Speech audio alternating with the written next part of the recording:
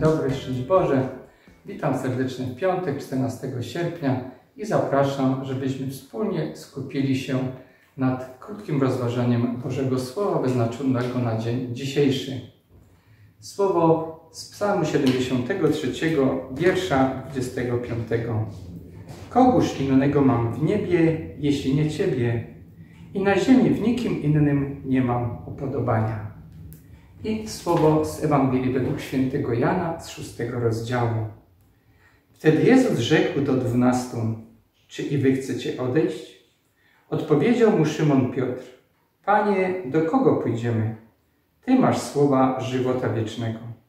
A myśmy uwierzyli i poznali, że Ty jesteś Chrystusem, Synem Boga żywego. Moi drodzy, warto dzisiaj postawić sobie pytanie, z kim idziemy przez życie, czy z kim chcemy iść przez życie.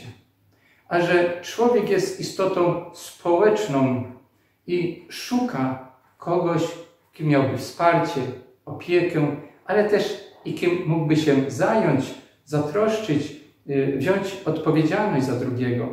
Tak już mamy przy stworzeniu pierwszych ludzi. Adam był sam i Pan Bóg, widząc jego samotność, postanowił, że uczyni mu stosowną, odpowiednią pomoc i stworzył dla Adama Ewę.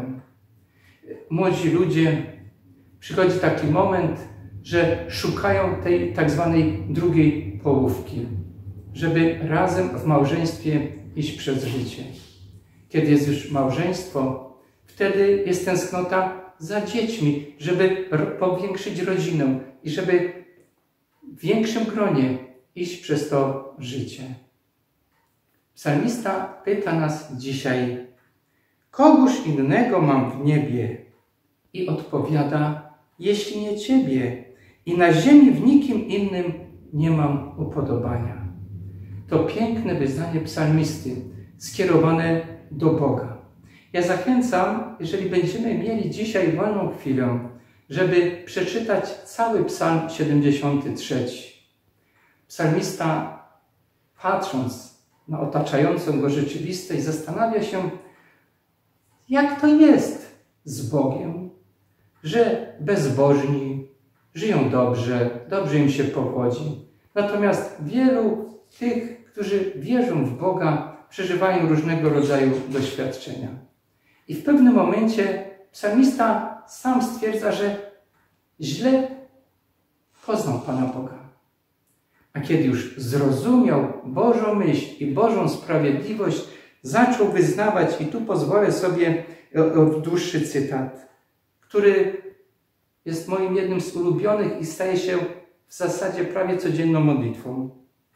Bo przecież jam zawsze z Tobą. Tyś ujął prawą rękę moją. Prowadzisz mnie według swojej rady, a potem przyjmiesz mnie do chwały.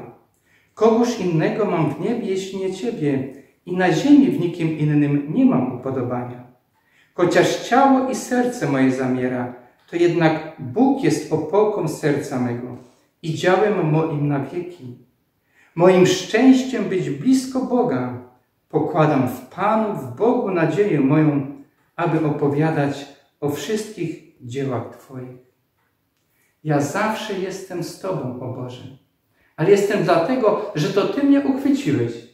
Że to Ty trzymasz mnie mocno za rękę, żeby się nie wymsknęła. Żebym się nie przewrócił. I to jest wspaniałe. Bo Ty mnie prowadzisz. Jeżeli już mnie wziąłeś za rękę według swojej rady. Nie zawsze rozumiem Bożą radę. Nie zawsze rozumiem Bożą wolę. Ale przyjmuję ją cierpliwości, pokorze i ufności. Bo właśnie na kim mam opierać moją ufność i nadzieję? Jak powiedziałem, dobrze, gdy mamy koło siebie bliskie, kochające nas osoby, modlące się za nas, troszczące o nas, pamiętające o nas. Ale dobrze, jeżeli mamy tę świadomość, że jest ktoś, kto swoją miłością przewyższa wszelką ludzką miłość, że jest Bóg Ojciec. I kiedy psalmista mówi, kogoż innego mam w niebie, to stwierdza również bardzo ważną prawdę, że nie potrzebujemy szukać w niebie i na ziemi żadnych innych pośredników do Boga. Możemy. Tego poprzez przecież nauczył nas Pan Jezus. Bezpośrednio przychodzić do Boga i wołać do Niego Ojcze nasz, któryś jest w niebie. I wtedy też, chociaż będziemy przechodzili przez różne doświadczenia, chociaż ciało i serce zamiera, chociaż będziemy przeżywali choroby, udręki, może również i psychiczne, chociaż może pojawić się i zwątpienie, to i wtedy Bóg jest opoką serca mego i dzieje moim na wieki. I psalmista uważa, że to jest wielkie szczęście być blisko Boga. Takie wielkie szczęście mieli uczniowie Pana Jezusa, że On też ich powołał, ich niejako wziął za rękę i powiedział: Pójdźcie za mną. W pewnym momencie przyszedł, przyszła taka sytuacja, że pojawiło się zwątpienie, niepewność, i Pan Jezus pyta wprost: Czy chcecie odejść? Piotr pięknie wyznaje: Pani, ale do kogoż my pójdziemy? Ty masz słowa żywota wiecznego. Ty jesteś dla nas światłością, przewodnikiem, pasterzem, opiekunem. Ty jesteś najlepszym lekarzem. I myśmy uwierzyli i poznali, że Ty jesteś Chrystusem, Synem Boga żywego. Bo Wszechmogący Bóg w Jezusie Chrystusie przychodzi do nas tak bezpośrednio, aby nas właśnie prowadzić, ochraniać, strzec, żebyśmy w Nim mieli tego najlepszego przyjaciela. Moi drodzy, życzę Wam, żebyście mogli wyznawać zawsze, moim szczęściem jest być blisko Boga, moim szczęściem jest znać Jezusa Chrystusa i moim szczęściem jest po prostu z Jezusem żyć. Życzę Wam dobrego, radosnego, błogosławionego dnia.